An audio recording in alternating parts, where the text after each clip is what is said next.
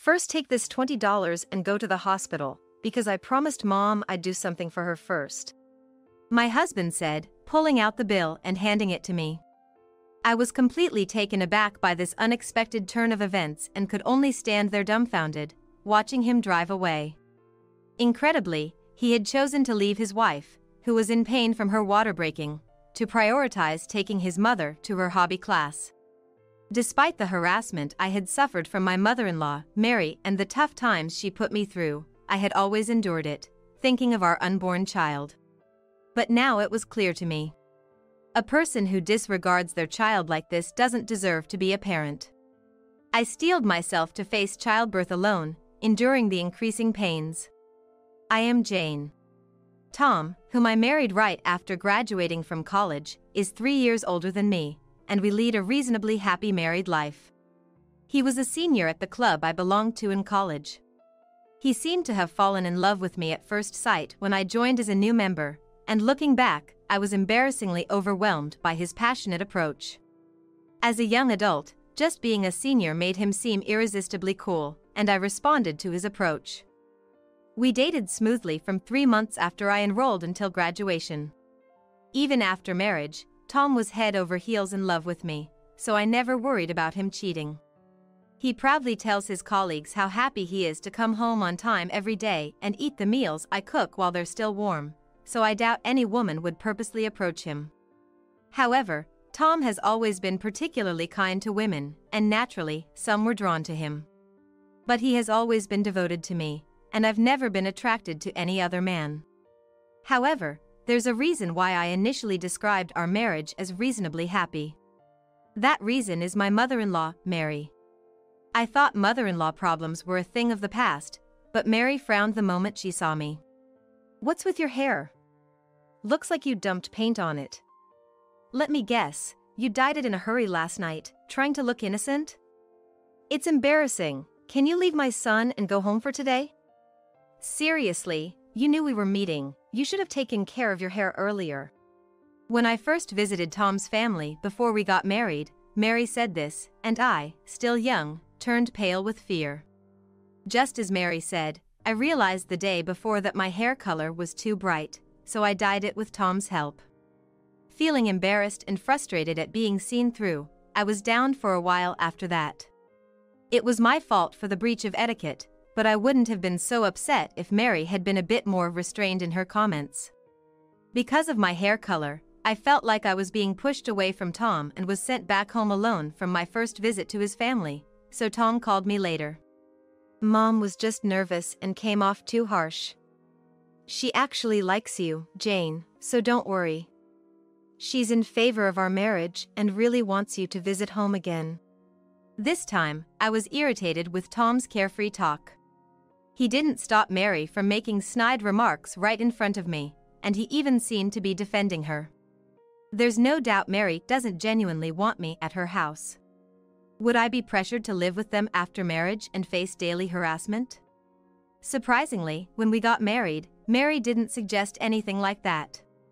I was relieved, but soon after, Mary began frequently inviting Tom to her home. Now that you've finally graduated from a far off university and got a job here, you get married right away. I've been so lonely.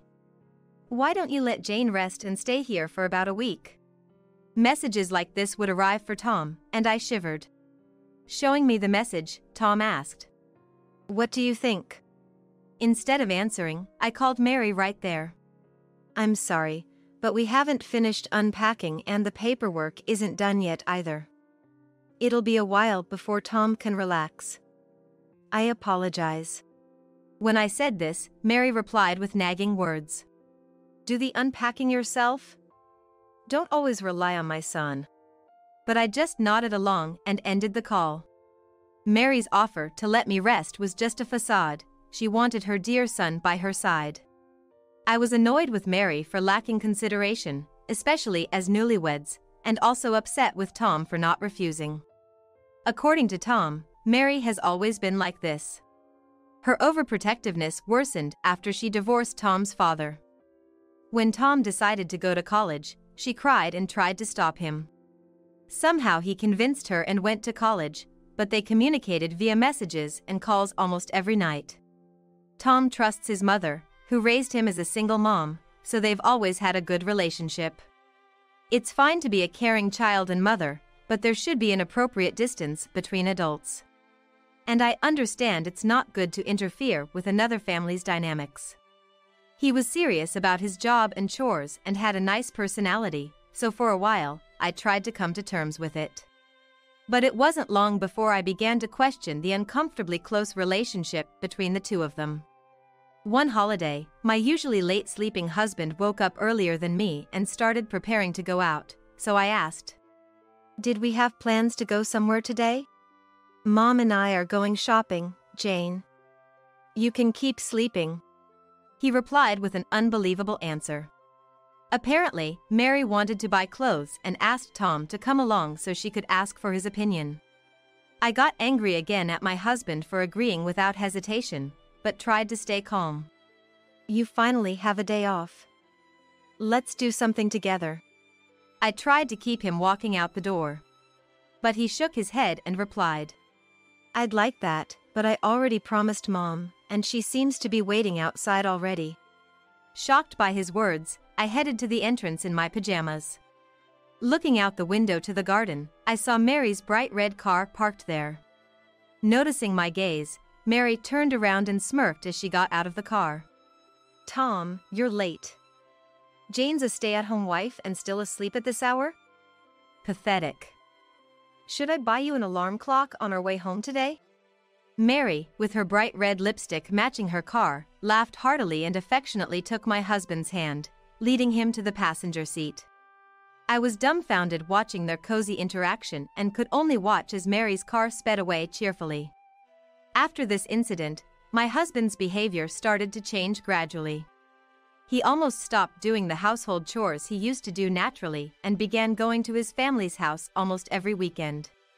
His attitude towards me also changed, becoming more domineering. Jane, you're too lazy. When I have a day off, you just sleep with me, right? Can you call that being a housewife? You even stopped putting on makeup at home. That's not good after getting married. Mom is worried about you, too. Why don't you visit her alone once in a while? I don't know what Mary has been saying about me, but my husband agreeing with her is absurd. He never mentioned anything about naps or makeup during our courtship. But as my husband says, maybe Mary really is concerned about my behavior.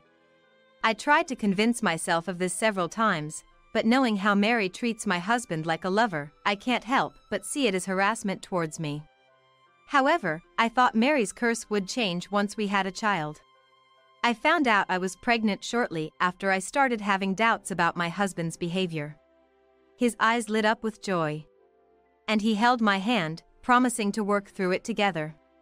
But Mary's harassment got worse after this, indirectly forcing my husband to leave me alone for trivial reasons like shopping, hospital visits, or cleaning her house. I tried explaining to my husband that Mary's actions were malicious towards me, but it backfired. He suddenly snapped with anger. Mom always talks about you when we meet. She says you should go back to your parents' house or take time for yourself. Getting angry over this will affect the baby in your stomach. You should appreciate mom's concern. He started leaving me alone more often. As morning sickness worsened, I told him I was anxious being alone and wanted him to be with me as much as possible. But to my cry for help, his reply was unbelievable. Even if I'm around, there's nothing I can do for you. Mom said she wanted to be alone all the time during her pregnancy and didn't even want to see dad. He wouldn't listen to me. And feeling physically and emotionally unstable, I resolved to fight alone. Then, one day while shopping for baby items with my husband, we bumped into one of his colleague. Tom, I hear you're actively attending parenting classes. Your home library is full of parenting books, right? Today, too, accompanying your wife for shopping, you're going to be a great dad. Can't wait for your child to be born. I was so shocked that I blurted out. What? Tom quickly interjected laughing.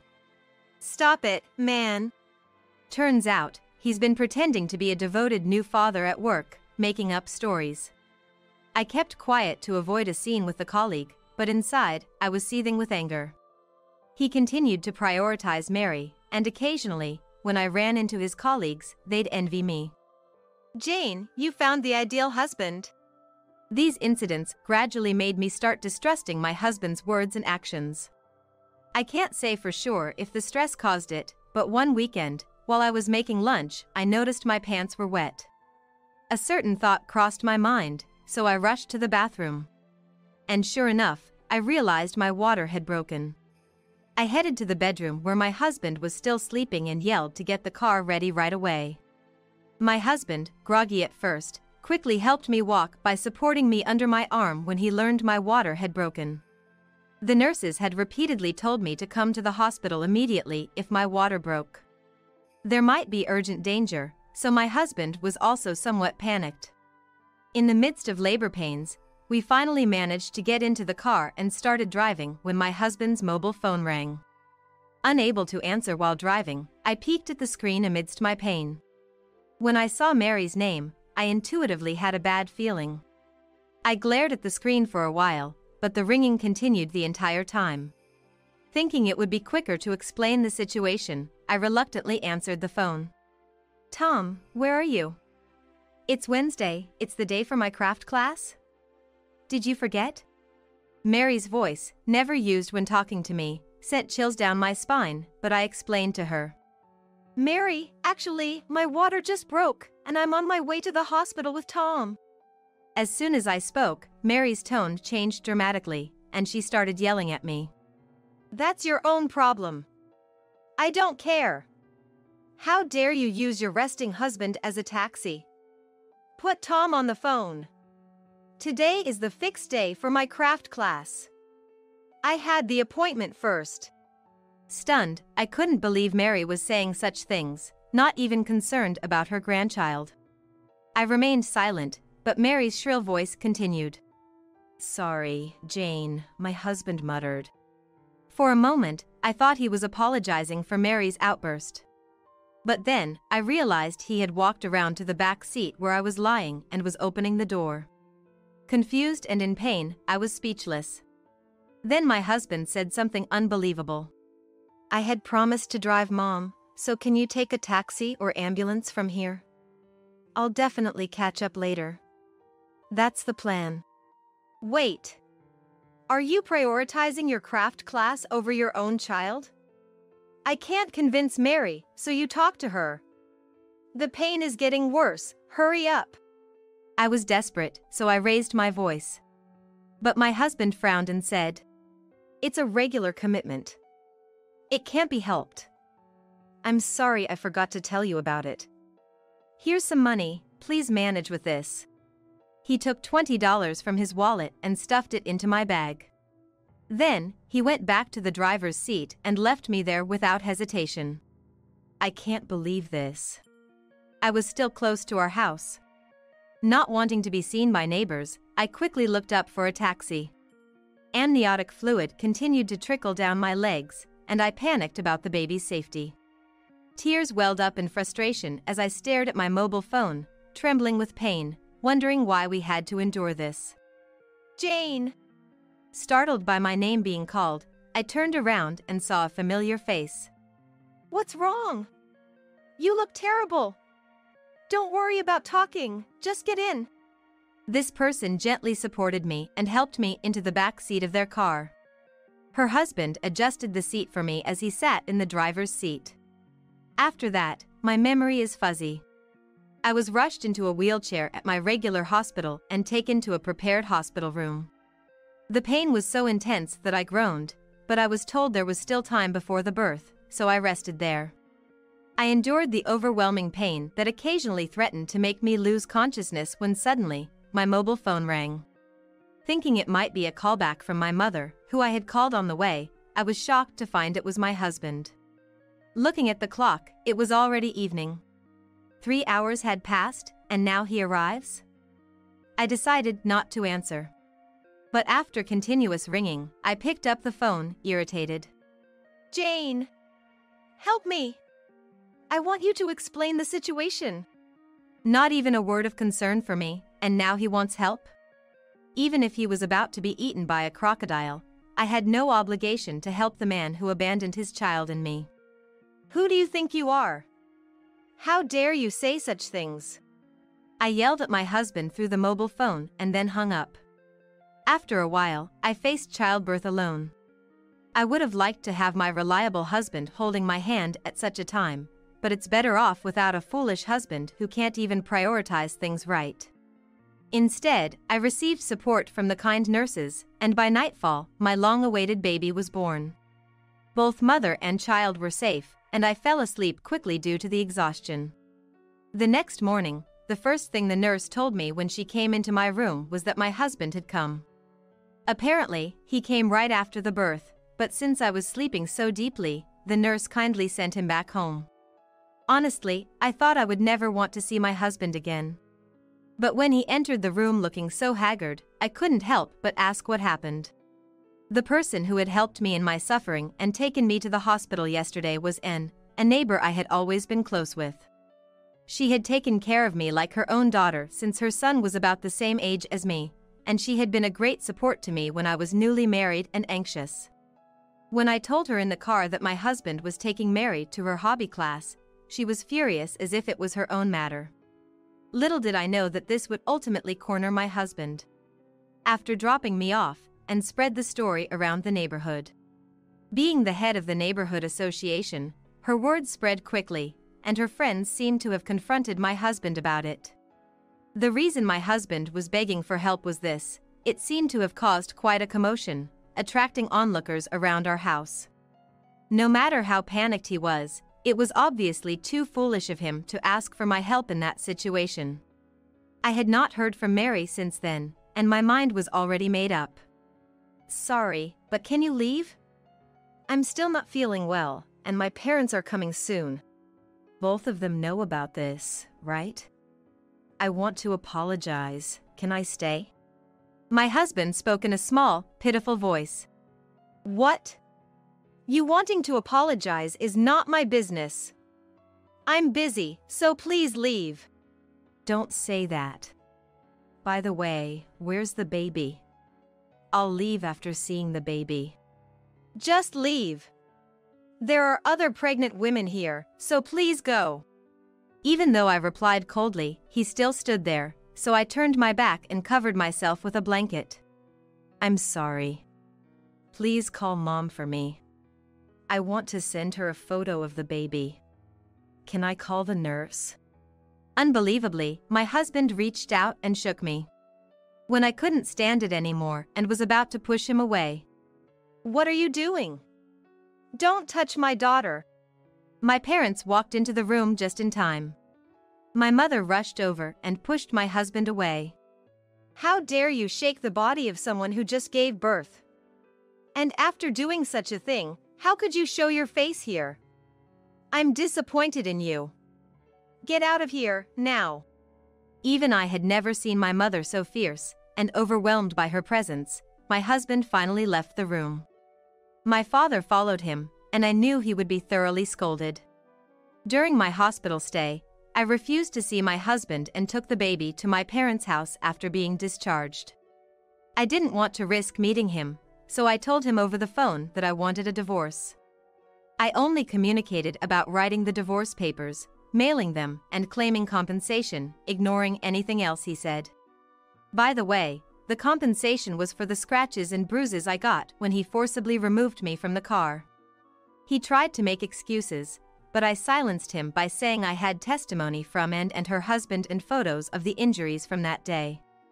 The lawyer said the cost for his malicious actions against a pregnant woman would be significant. While I was busy with the baby, Mary showed up at my parents' house once. The rumors spread by Anne didn't seem to fade, and the neighbors' gazes were cold. She blamed it all on me for not respecting our family, but my father handled everything. Both of them were scolded by my father, and I thought it would have been better if we had done this from the beginning.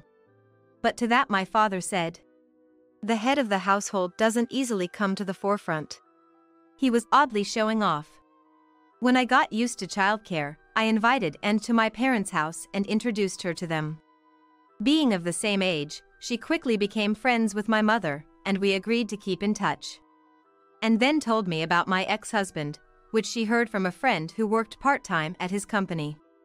Her friend, who loves gossip like Anne, seemed to have spread the story about my ex-husband to others at some point. The story spread quickly again, and his reputation plummeted. He had pretended to be a devoted new dad, and the disparity was so great that his bosses and colleagues looked at him with disdain, leading him to resign in disgrace. Becoming unemployed with no qualifications just before turning 30, my ex-husband lived in fear of the neighbors' gazes, relying on Mary's pension and savings. Years later, I almost forgot he existed, but then he called again. Where are you? I'm in front of your parents' house right now, but the nameplate is different, isn't it? He said this out of the blue, so I responded in kind. Can't you tell by the nameplate? I've moved. What do you want? Moved? You're living it up with the compensation I gave you. Come back right now, let's start over. Mom wants to see you too. What you're saying makes no sense.